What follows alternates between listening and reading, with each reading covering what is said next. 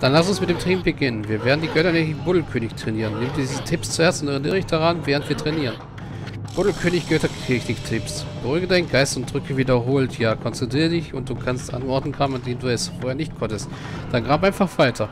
Nun hast du alles verstanden? Äh, nun dann. Ich gewähre dir diese Technikschriftrolle. Schließlich, wenn du vergessen hast, was sei, ein Krieger zu sein. Ja. Steh mit deinem Körper, mit dem Geist, an Guard. Oh, sogar hier können wir jetzt graben. Das reicht jetzt. Sehr beeindruckend. Ja.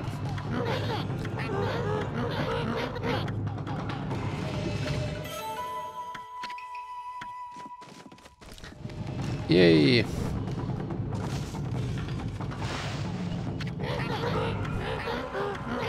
Ja, ja, vergiss nicht die Selbstverbesserung. Sehr schön.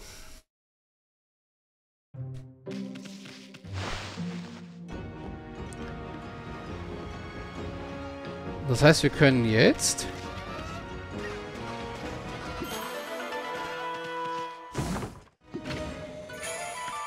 Zeug ausgraben, was wir vorher nicht ausgraben konnten. Und an Orte springen, an die wir vorher nicht springen konnten.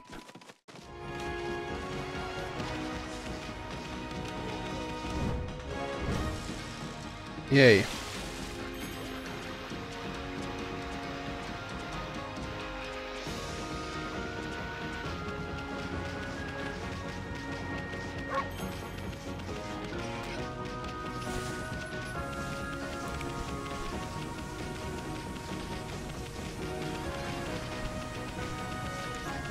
Das muss ich sagen, gefällt mir schon mal sehr.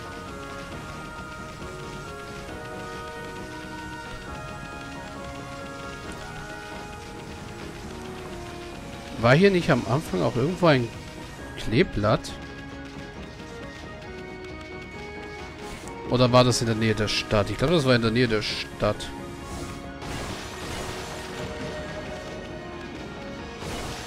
Na, Zeug für den Magen.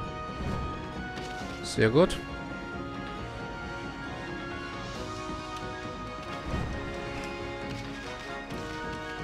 Das heißt, jetzt einmal kurz ein Save machen. Oh. Es gibt nur 30 Save-Slots. das heißt, wir müssen wieder oben anfangen.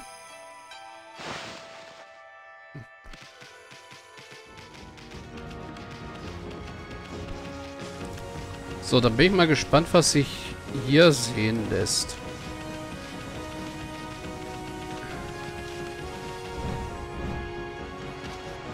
Was ist denn mit dir los? Ah, ich weiß, du willst hier raufklettern und du hast diese Technik gelernt, oder? Oh, was war das denn noch? Spring mit voller Kraft. Jo.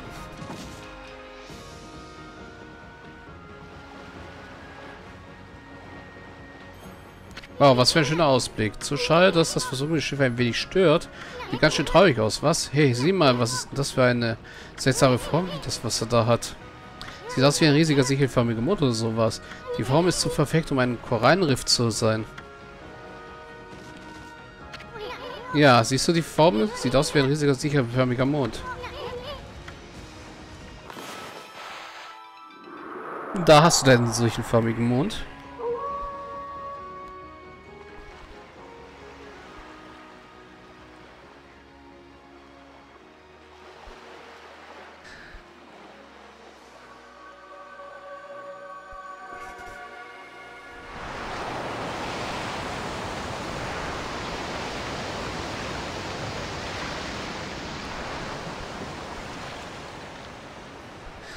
Mein Gott, das sieht man auch nicht jeden Tag.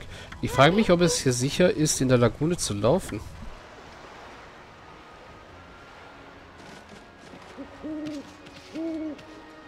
Hm.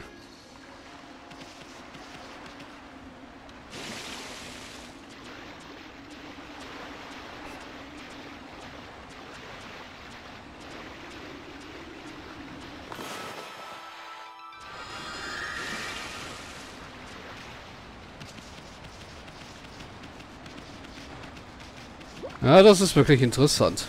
Oh, ein Schatz.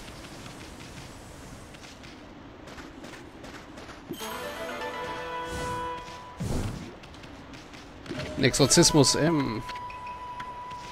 Hm.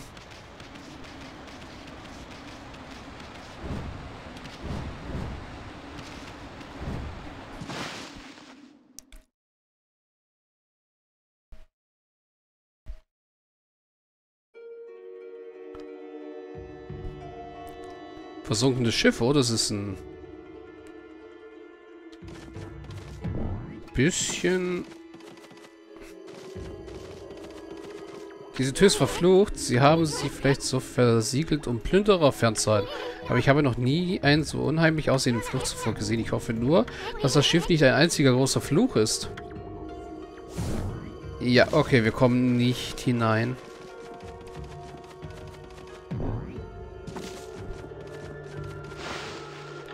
Das heißt, wir brauchen es gleich weiter probieren.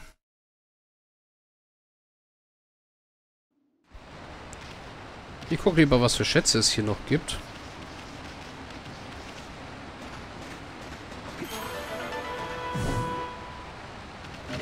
Glasperlen.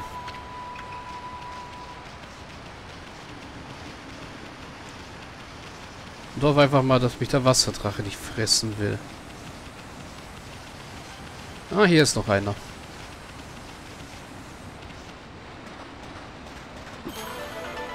Da war sogar noch eine Yen-Münze drunter. Ein göttliches Amulett. Ja, erhöht die Göttlichkeit.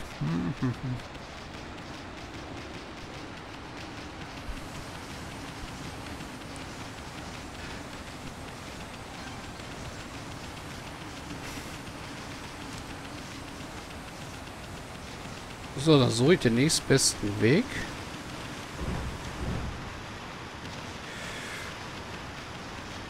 Hier raus, wollte ich sagen, aber... Wie komme ich hier wieder raus?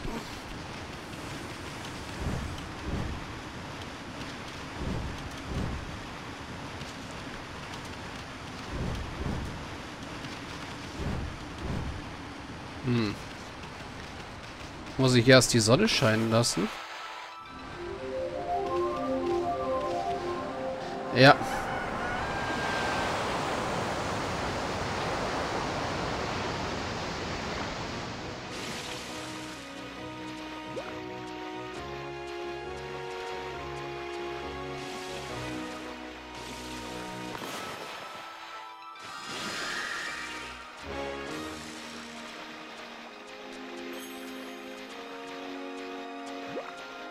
So. Hm.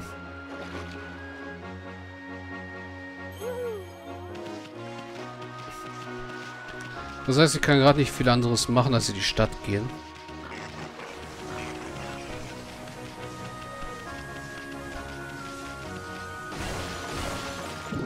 Und noch mehr Zeug für den Magen sammeln.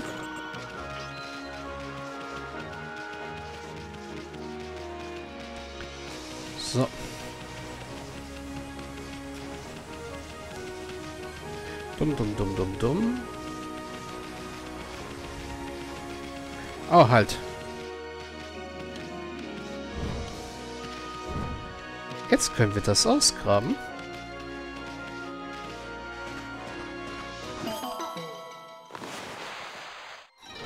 Kriegen dafür 20. Hey. Tierchen. Kühe. Grünfutter.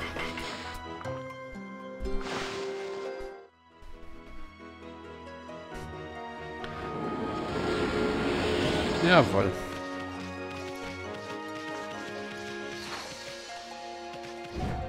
Ach, da können wir nicht runterhüpfen, nur hier. Weil wir hier in die Stadt rein müssen.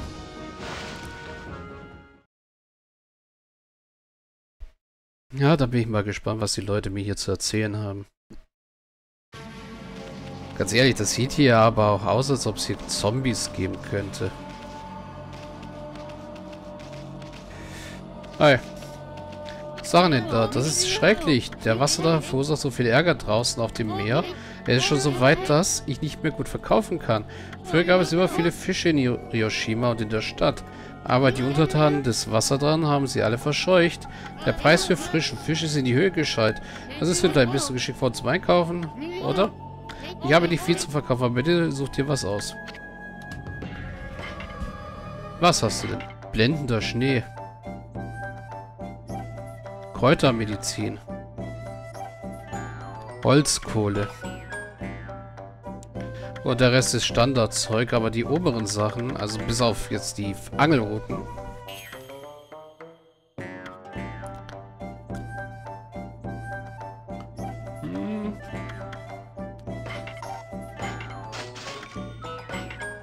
Kaufe ich mal... Ah, ich kaufe auch mal die Angelroute da.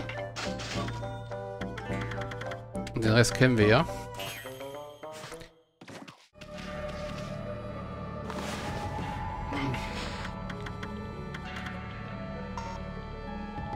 Ja. Das sind Schlüsselobjekte.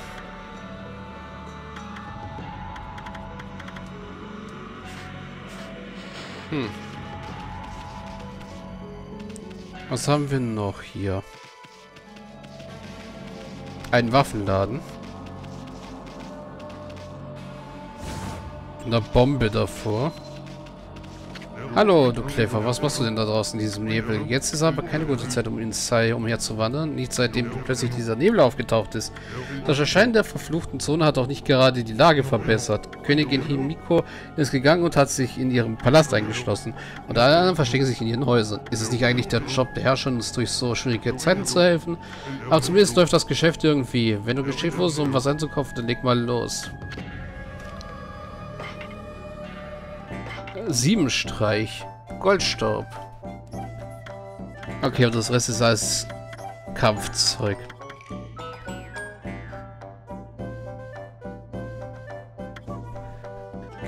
Ja, die beiden Sachen könnte ich eigentlich gut gebrauchen. Neues Schwert.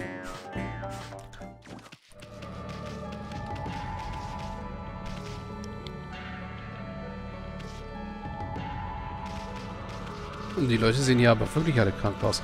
Ich frage mich, was Königin Miko die ganze Zeit macht. Normalerweise ist sie für die Leute da, auch für uns Bürgerliche. Und bis jetzt hat sie es geschafft, die Stadt Sai'an vor dem Bösen zu beschützen. Ich verstehe einfach nicht, wieso sie sich plötzlich so abschottet. Königin Mimiko, ich bitte euch, bitte kommt und rettet uns. Oh Mann, das sieht aber schlecht aus, Ami. Hat das denn auf dich alles gar keinen Einfluss, Hund? Als sich Königin Himiko zurückgezogen hatte, ist dieser seltsame Nebel aufgetaucht und es scheint mir von Tag zu Tag schlechter zu gehen. Ich kann mich nicht einmal dazu aufraffen, mir Medizin zu kaufen. Königin Himiko, wo seid ihr in unserer Not? Ja.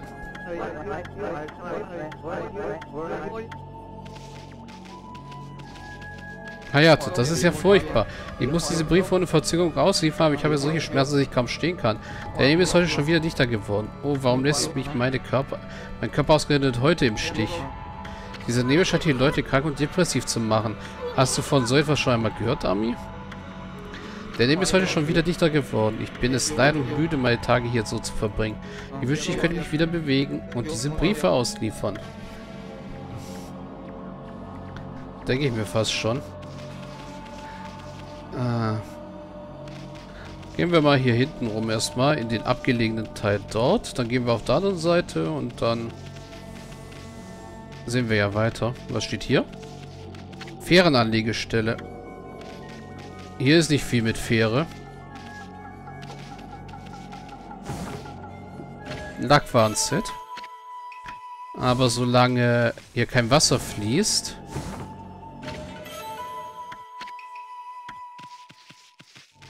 hole ich erstmal alles, was hier unten ist, ab.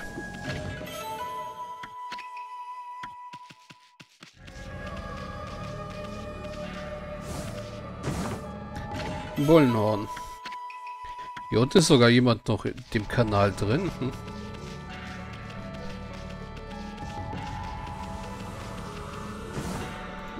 Ein Korallenfragment. Ja.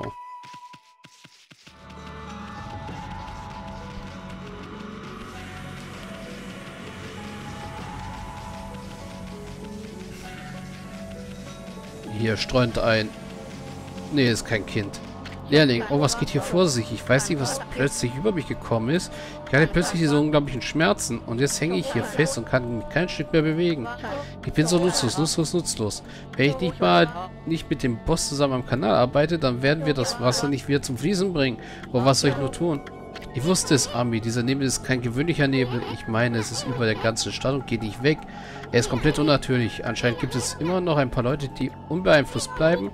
Aber wer weiß, was passiert, wenn das noch ein paar Tage so weitergeht. Ich bin so nutzlos, nutzlos, nutzlos. Ja.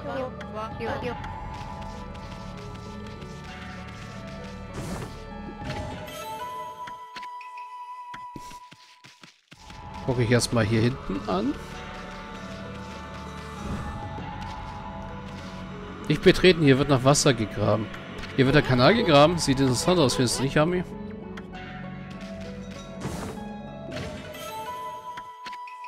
Jo, ein Exorzismus S. Hm. Naguri, verflucht sei dieser verdammte Wasserdrache, solchen Ärger zu verursachen. Wie kann der Gott der See den Frieden so ruinieren? Ich wette, der Drache ist auch schuld am Zustand des Kanals. All das Chaos hat dafür gesorgt, dass sich der See verstopft. Tischlermeister Naguri. Hey Ami, sieht aus, als ob es hier auch ein Problem gibt. In der ganzen Stadt scheint das total Chaos zu herrschen. Hm? Oh, bist du hierher gekommen, um etwas Wasser zu trinken, Wolf? Ich befürchte, es ist alles ausgetrocknet. Dieser Kanal war wirklich eine wichtige Wasserquelle für uns. Darum gab ich hier ein Loch, damit das Wasser wieder reinfließen kann. Die meisten Leute sind jetzt krank, sodass es kaum jemanden gibt, der helfen kann. Eigentlich bin ich der Einzige, der noch übrig ist. Ein einsamer Tischler. Aber ich werde nicht aufgeben. Man wird ganz schön fit, wenn man meine Arbeit macht. Jetzt profitiere ich von meiner Fitness. Ich habe beinahe alles hier in Sei angebaut, das du sehen kannst, weißt du? Deshalb gibt es nichts, das ich nicht weiß über diesen Ort. Da ist die Stadt aber nicht gerade alt. Willst du wissen, worin der Schlüssel für diese Wasserversorgung liegt? Er liegt im Wasserabfluss vom Beversee. Du hörst ganz schön gut zu für einen Hund. Vielleicht sollte ich dir dann über den Abfluss vom Beversee erzählen. Die Stadt Sei An schwimmt in der Mitte des Beversee. Das Wasser des Sees führt den Kanal um die Stadt, aber die Unteren des Wasserdrachen haben den Abfluss verstopft. Kein Wunder, dass der Kanal ausgetrocknet ist. Und darum sind wir jetzt in dieser erbärmlichen Situation. Die besicherte Abfluss liegt unter diesem Gebiet.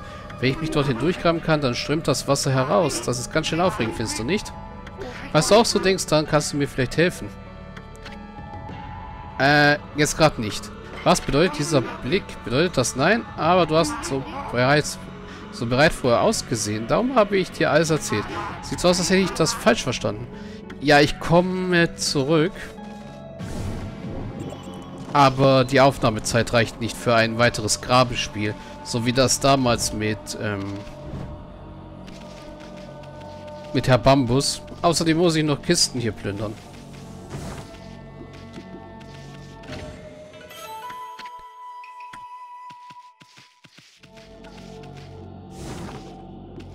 Ja, Stahlfass, sag ja.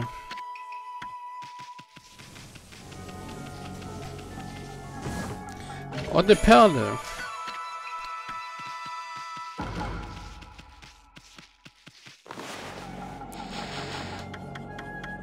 Ja, wenn ich mir das so ansehe, wir haben schon ein paar Perlen.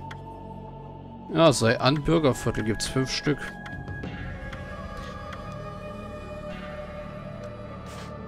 Ja.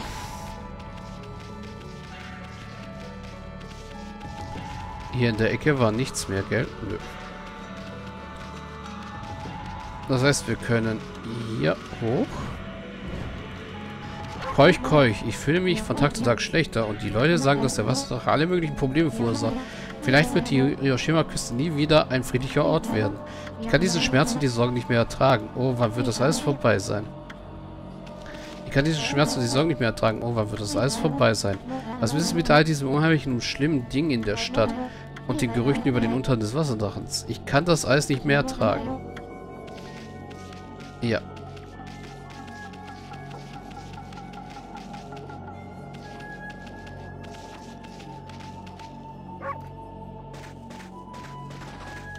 Noch war eine Yen-Münze. Was können wir uns hier ansehen? Sieht aus wie ein ausgetrockneter See oder sowas. Ich frage mich, wo das ganze Wasser hin ist. Ja. Fernanlegestelle. Ein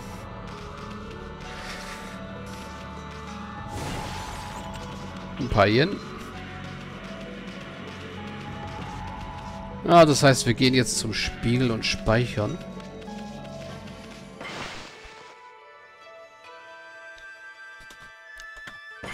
Jo. Und dann machen wir mal hier einen Cut. Also, bis gleich.